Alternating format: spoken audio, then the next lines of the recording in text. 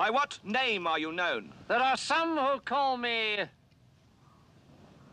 Tim? Welcome to another episode of Timmy Talks, the channel where we talk old school magic. And welcome to the Sin City Open 2023 because this is magic from Las Vegas, Nevada. I'm so excited to show you this. I'm really looking forward to it. It is EC Magic, that means Eternal Central Rules.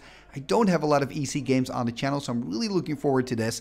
And uh, I think this was just a great event. I'll put some uh, information about the event in the description below if you would like to know more. I can already tell you that there were 52 old schoolers attending this event from 11 different states in the States and one Canadian. And I don't believe you had a single European in there, so maybe that will come next year in 2024. Anyway, we have a pretty cool match that we can look at today. We have Jesse who's playing a Lion Dib deck, and he's playing against Tim who's on Reanimator. Now, before I start with the deck decks, I would first like to point out that as always, you can also skip that section of the video, go straight to the action. The easiest way to do this is by checking out the description below. There you will find several timestamps one of those timestamps reads MTG Games. Click on there, it'll take you straight to the action. As for now, I'm going to start with the deck deck. I'm going to start with the deck of Jesse, a Lion Dib. Let's have a look. And here we see the deck of Jesse, and oh boy, you're not making it easy for me, Jesse. Everything's mixed up, so I'm going to try to make sense of it all. Although it's a pretty well-known strategy, I have to say, and I do love, absolutely love your playmat, man. The Serra Angel with the shades, absolutely epic. I believe that's also you guys or the Serra Angels from Los Angeles, if I'm not mistaken. Please correct me in the comments if I'm completely wrong, but I think that's uh, that's what's up. I love I love the logo, love the playmat, and actually this deck is looking pretty fierce as well. Now, first of all, one thing you got to know about Eternal Central is you can play with four strip mines, and I believe we see at least three strip mines in this deck photo. I'm trying to maybe find number four, but I can see three on the right side of the deck photo. Now the cards at the at the bottom are, I believe, your sideboard. And what's really cool for me to see is that Library of Alexandria in Eternal Central is actually a sideboard card, or at least it is in your deck. I find that super interesting. Maybe you can let me know the the thoughts behind sideboarding a Library of Alexandria is that maybe because so many decks play very heavy on land destruction that you're going to put it in the sideboard, or maybe you only want to board it in against decks that have a lot of draw seven effects. I mean, those both could be viable reasons to play it in the sideboard instead of the main board. I also think that when you're playing in a four strip environment, you obviously have to really take care of your mana base.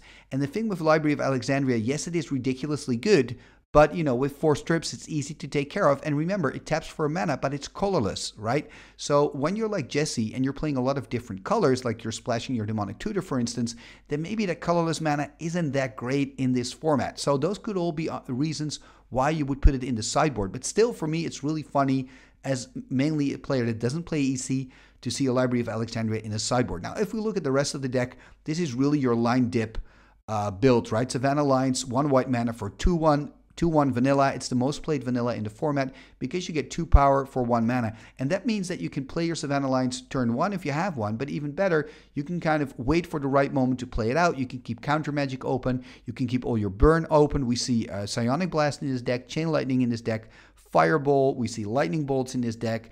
Uh, of course, we also see, I believe, just one counter spell, or maybe there's a second one. We also see a mana drain, so it's not very counter heavy, this deck. So it's a bit more aggro than a Lion Dib control brew. I guess. So for, for this brew, you really go turn one Savannah Lions and try to just deal as much damage with the line as you can. And then there's that other super aggro creature in the format in the form of Serendib Efreet. Serendib Efreet, of course, absolute powerhouse in almost any old school format. One blue and two to play for a 3-4 flyer that gives you, you know, deals you one damage during your upkeep but who cares? You get to attack with it. You can turn it sideways and swing in. And I do think in a format where you also play with a lot of strip mines, it means that you don't have to be that afraid of, for example, a Maze of Ith, you know, because you have more answers to your Maze of Ith.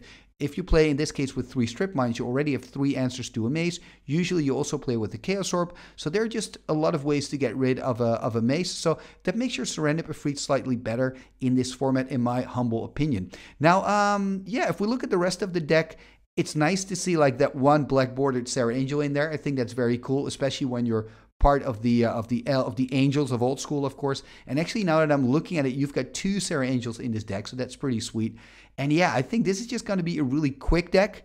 I know that you're playing against Reanimator today. Reanimator usually needs a little bit more time, so maybe you can play so quickly that uh, in this case, Tim is dead before he gets to uh, start and have his whole Reanimator strategy go off. So who knows? This, I think this is going to be a tough match for Tim. Talking about that, let's take a look at his deck. And here we see the deck of Tim. Now, Tim, man, this is a beautiful deck. I know you're also a patron of the channel. You have to, we have to make an episode. Well, I guess we're making an episode with the deck, but I would love to play against this as well. I love Reanimator, and I'm always so impressed when I see a Reanimator list because, I mean, look at those four Bazaar of Baghdad and look at those three All Hallows Eve. How cool is that? Now, if you're not familiar with those cards, I'm going to tell you what they do. So, first off, Bazaar of Baghdad is a land from Arabian Nights. It was considered one of the worst lands of Arabian Nights. How funny is that? Because you tap it, you draw two cards, but you got to discard three cards. So, why would you want to have you know, a land that lets you draw two, but you have to discard an extra one. So you have to discard three. That's card disadvantage, right? Well, not when you're playing Reanimator, because when you combine it with this sorcery from Legends, All Hallows Eve, things start to get interesting. All Hallows Eve is just such a weird card. It's two black and two. It says exile All Hallows Eve with two scream counters on it. Yes, they're called scream counters. At the beginning of your upkeep, if All Hallows Eve is exiled with the scream counter on it, remove a counter from it. If there are no more scream counters on it, put it into, a, into your graveyard, and each player, so also your opponent, returns all creature cards from their graveyard to the battlefield. That means that when you play this, the first turn around, you know, when it's your upkeep, you only take one scream counter off, so nothing happens. But the turn after that, that's when the magic happens, and all those creatures in your graveyard get back onto the battlefield. Now remember that Bazaar of Baghdad? With Bazaar of Baghdad, you can draw two cards, but you can discard the cards that you don't want. And what cards don't you want? Those big, beefy creatures that you can see here in the deck of Tim. You want to discard your Shivan Dragon, your Tetravus, your Serra Angel, right? Maybe even your Often Troll. Sorry, your Sedge Troll, I mean. Who cares? You just want to put as many creatures in the bin as possible, play out your All Hallows Eve, and then the fun can begin, right? All those creatures will rise from the grave and they'll come back on the board. I mean, how I'm so looking forward, Tim, to see you pull this off. And I know like Jesse's deck is quick. So maybe you're going to die before you get to do it. But I, I am I'm praying to the magic gods. I want to see at least one All Hallows Eve activation in this match. And yes, I'm slightly pro Tim for this one. Sorry, Jesse. I mean, you've got a great deck, but I'm slightly pro All Hallows Eve Bazaar of Baghdad just because you don't see it that often. And it's also an old school classic. Anyway, enough of me admiring All Hallows Eve and Bazaar of Baghdad. Let's go to the games here at the Sin City Open. Game number one on the left, a Lion Dib player. On the right, we have the Reanimator player. And a special thanks to uh, Kevon for sending me this matches, aka Flying Anger Pig. And game one is about to start a Reanimator player on the play, starting with a Mox Ruby and a Scrubland and passing the turn. So let's see what's going to happen next here. There is a Mox Sapphire and a Plateau and a Savannah Lion. So this is the kind of opening that the Lion Dib player wants just early aggression. Wants to start swinging in straight away, possibly next turn playing that Serendib Efreet. Let's see if the Reanimator player can do anything about it. Cannot find a Bazaar of Baghdad. He's playing a Time Walk here. Okay, that's something. You know, taking an extra turn. Slowing down Jesse a little bit. So Jesse on Lion Dib. And Tim is here on the Reanimator strategy. Finding a plateau. Gonna tap three, possibly a Sedge Troll. Tap four instead. There's a Juzam Djinn. 5-5 powerhouse, Arabian Nights. Deals one point of damage as well, just like the Serendib. But remember, it's a 5-5. And this is good news for Tim because now Jesse cannot attack with the line. And that's exactly what his deck wants to just get little points of damage in early on with the Savannah lions. Does he have a swords here? That's a big question. Yep, there's the swords. Taking care of business. This means 5 life for Tim. Gonna go up to 23, take 2 damage end up on 21, I believe. Exactly. And there we see a Tundra, tapping the Tundra, and another line. Ooh, so the pressure is back. Now remember, he's also playing with Sedge Trolls in the deck. There are only three to play. He's got enough mana to play one and keep Regeneration open. Okay, there's a Bazaar of Baghdad. Let the funny stuff begin. Drawing two cards, and now he has to discard three. There's a Trike. There's a Trike. Those Trikes are so good against those lines, by the way. And there's a Bazaar of Baghdad. I mean, he does have double black here because of the City of Brass, so he could play an All Hallows Eve. That would be quite spectacular. Oh, and Animate Dead also does the trick.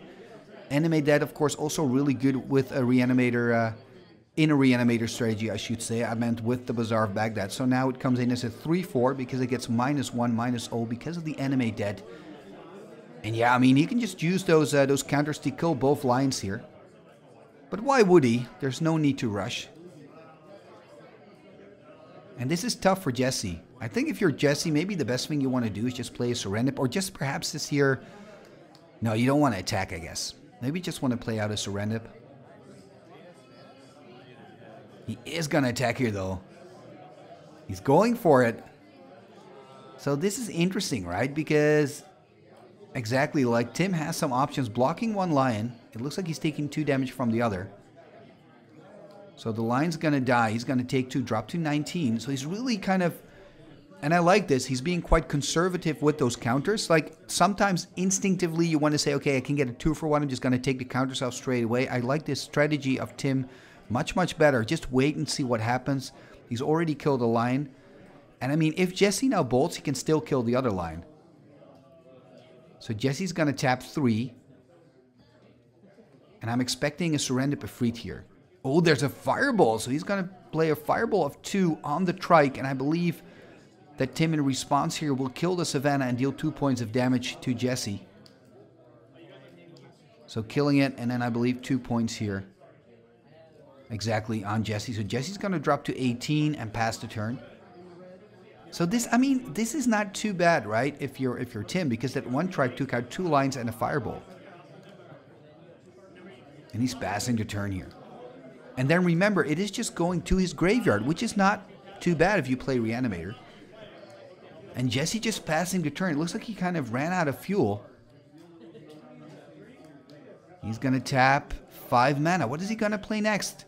There's a Serra Angel. He's going to take a damage exactly from the City of Brass, but there's a Serra Angel 4-4 flyer. There's a Psionic Blast, though. Like, Psionic Blast is perfect to deal with those 4-4s. Passing the turn here back to Jesse. Can he put some pressure on the board? No, he can't. Passing the turn again, and I think this is in the advantage of the uh, the slower deck, I guess, the Reanimator strategy deck. He could consider here using his Bazaar of Baghdad, drawing two cards, discarding three. Of course, that depends if he has another creature in hand. He could try to start digging for an All Hallows Eve. I mean, he's got quite a lot of strong creatures in the bin. I believe two Trikes and a Serra Angel. Playing a City of Brass and another pass.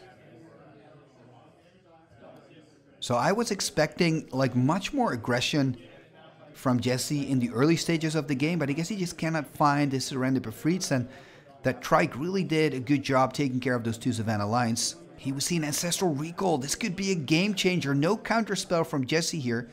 I believe he's playing with the counterspell and a mana drain. Doesn't have it in his hand though. Three cards for Tim. I mean, this could be so decisive, right? If he can find the right cards. Also, more cards in hand means the Bazaar of Baghdad gets better as well because he's got more options when he has to discard. And it looks like Tim's a little bit in the tank. It's hard to see the amount of cards in hand. I believe five, but perhaps there are four. My guess is as good as yours. It's really hard to see the difference here between four and five.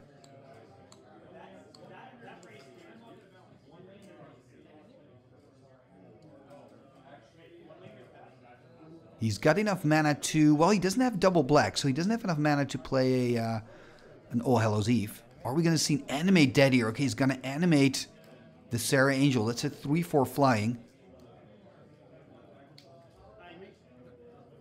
And I guess that's a pretty good option.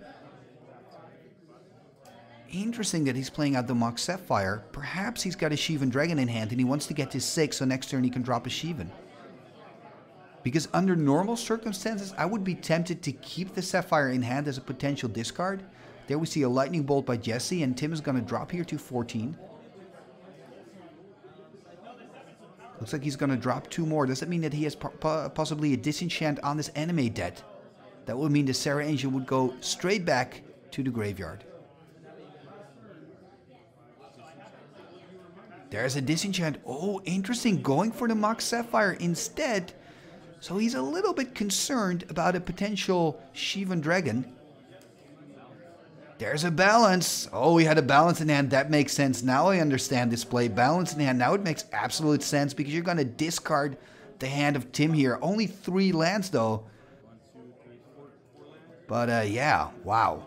Balance is so good in these situations. Takes away all the advantage here for, uh, for Tim. And also, I mean, those lands were actually really good for Tim because of the Bazaar of Baghdad, right? He could just draw cards, discard his lands. That would be really good for him. Tapping four, finding a Juzam from the top. This could be decisive. Juzam 5-5 powerhouse, of course. So now all of a sudden, Jesse's on a four-turn clock in top decking mode. That is not grand. Can hit him here for five. Into the red zone. Jesse dropping to 11. There's an underground uh, Sea and a pass. Another card here. A Tundra and a pass. So Jesse not finding an answer. Perhaps, I mean, he's got his swords in hand. He can just play it now. But he doesn't have it. Gonna drop to six. Two more turns for Jesse. Gotta find an answer. Passing the turn. Gonna drop to 10 here, Tim. But that's no problem for him. He's gonna put him on one. Passing the turn. Two cards in hand there for Tim. Two cards in hand for Jesse. There's a disenchant. Nope. It is the end of the road. At least the end of the road in game number one here for Jesse. And I was so looking forward to an All Hallows Eve, Tim, but we still have a few games to go. Let's go to game number two and pray for that Eve. Game number two here is about to begin. So we've got Tim winning that first game. He's on the right with Reanimator on the left, Lion Dib, Jesse, and he's on the play, starting here with a Mox Sapphire and a Mox Jet. And yeah, he does have a land there. I thought, do you have a land? He does. There's a plateau into his Savannah lion past turn. Only three cards in hand for him, but potentially he could play a Serendib Efreet next turn. Although if he would have had it in his hand, of course, he would have played it already. Passing the turn here to Tim. Let's see what Tim can do. Tim was quite successful in the first game uh, dealing with those aggressive Savannah lions. Now he's starting with, I believe, is that a Bazaar of Baghdad? It's hard to see. There's an attack for two, so he's going to drop to 18, it seems. It's a City of Brass. Okay, it's a City of Brass. He's going to drop to 19. He's going to kill the lion. Going to put Jesse on 22, and Jesse's going to play another Savannah lion in a scrub land and a pass turn. So Tim having a full grip of cards here. There's a Badlands. He is playing, of course, with Sedge Trolls. We didn't see that in game one, but he is playing with them. Okay, there's a Demonic Tutor. Is he going to tutor for the usual suspect, the Ancestral Recall, or is he going to do something else? Of course, that all depends on what's in his hand. And that is something that we don't know, so we'll just have to wait and see. He's probably going to shuffle up and pass a turn. Because he already hit his land drop, unless of course he's going for, for example, a Mox or a Lotus. He could drop those straight away and get into action. First, he's shuffling up.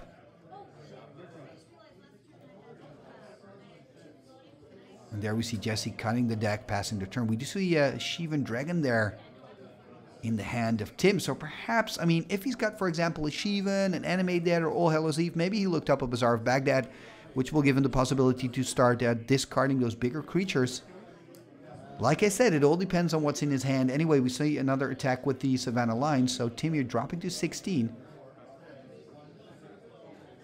The problem, of course, here for Jesse is that he only has two cards in hand. So here we see the Bazaar of Baghdad. If Tim now again can get his bigger creatures from his yard, I mean, this could go south quite quickly for Jesse. Drawing two cards, going to discard three here.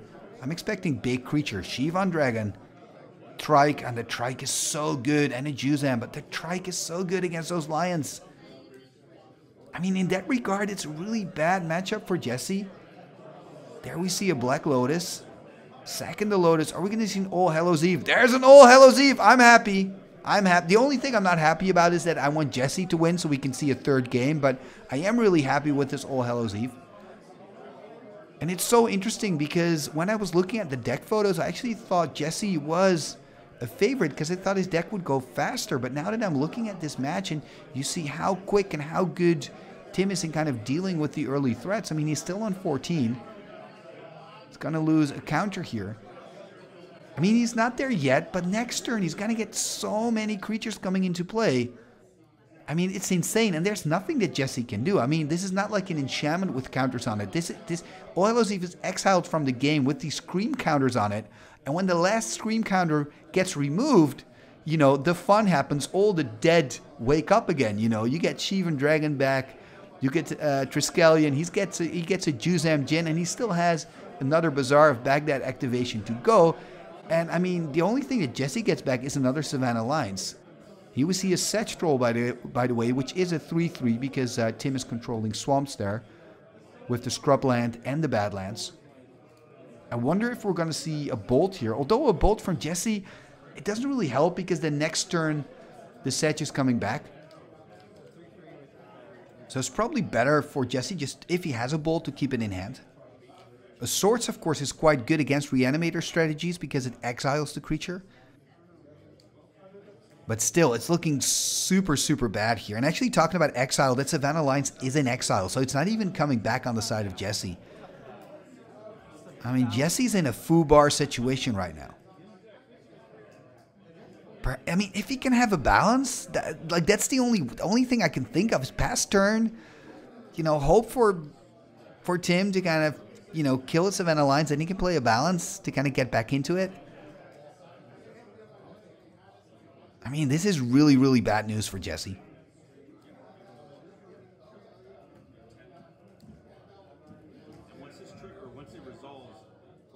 It's trying to find a way to stop the All Hallows Eve, but there's just no way of stopping it.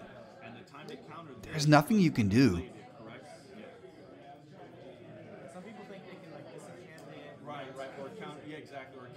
Flicking through his cards, also realizing, I mean, he's already a game behind.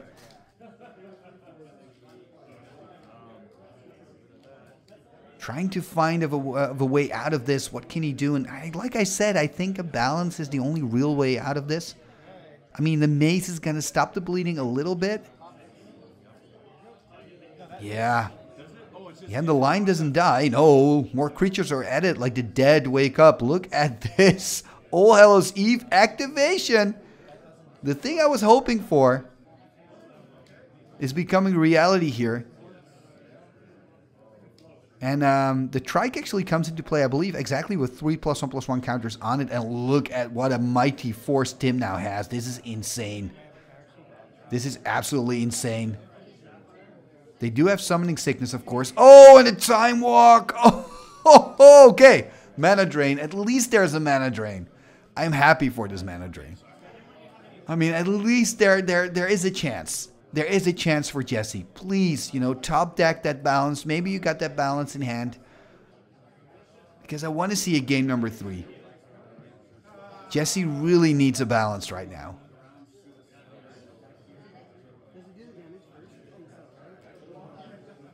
I mean, he's, you know, he, he, he can mace the Shivan. Okay, there's a bolt. Okay, on the life total of Tim, putting him on nine. I mean, if he can find enough direct damage, he can probably survive one more turn, right? He's on 22, which is pretty high. He's got the mace. He's got the line to jump, which you probably want to do because then if you draw into a balance, the balance gets better.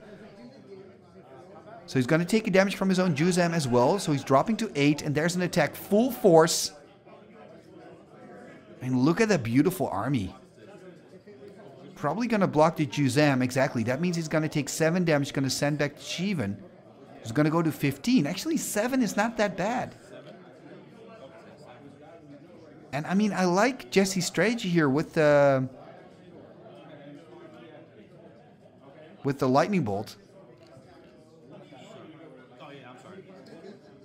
He's going to lose, of course, the uh, Savannah lion, using it as a chump blocker here. And of course, I'm talking about chain lightning, by the way.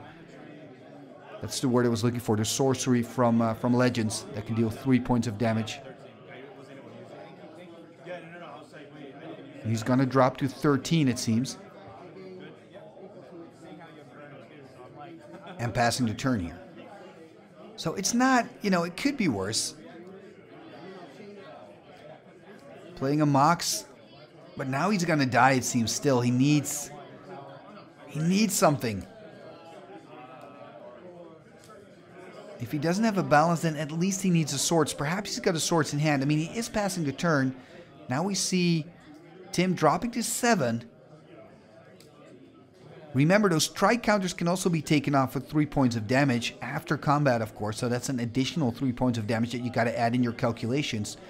There we see a Bazaar of Baghdad activation, by the way. Putting two trikes in the bin. He's got to choose a third card and a Sedge Troll. He's going to attack here with his full force again, of course. And now I'm expecting... Okay, there's a disenchant on the trike. It's Going to do three points of damage here to Jesse. Going to put on 10. He's going to send back to Shivan. Does this mean he's got one more turn to go, though? Looks like he's going to end up on two. I mean, it's something. If you're if you're in it, you can still win it. Oh, a bolt, though. Oh, and a bolt back is going to put on four. If it would have found a Cyblast, I don't think there was a Cyblast on the top. No, no, there was a Chaos Orb. But I do like the way uh, you know, how Jesse actually played this, how he tried to kind of play towards his outs, because that's all you can do when you're in this situation. Like, you know, you're in a full bar place. All you can do is kind of take that 1% or half a percent chance that you might top deck, you know, a balance, that maybe you're going to find at Cyblast. He was closer than you might think, right? Because, um, you know, Tim was on seven, Bolt would have put him on four. Then with the Psionic Blast, end of the road, we would have a game number three. Anyway, it's not meant to be, but this was a really enjoy. Uh, this was a great match to look at. I really enjoyed myself. I'd like to thank Jesse and Tim for showing their skills here on the channel on Timmy Talks. Thank you guys, and of course, thank everybody who was involved in the Sin City Open. And uh, if you like this tournament, I've got good news because I've got two more episodes coming up from the Sin City Open. So join me again next week for more action from this tournament. For now, Thank you very much for watching. And before you go, please take a moment to subscribe if you're not a subscriber yet, to like, to comment, and to share, to all that stuff. You know what? I first need to show you that button. So subscribe and ring that bell. Exactly, I'm forgetting my own button. That is so, that is so stupid. Oh, talking about forgetting, uh, I would also like to mention that I have a Patreon page, so you can join my Patreon program on patreon.com slash Timmy Talks and it already starts with $1 a month, so it's not a lot. And I mean, when you join Timmy Talks, you get access to the Timmy Talks Discord. You can play in all the online tournaments. And if you want to, you can play against me. I mean, could be fun, right? So check it out. Patreon.com slash Timmy Talks. And talking about patrons, let's go to the end scroll and have a look at my fantastic, wunderbar, amazing patrons and channel members of Timmy Talks. What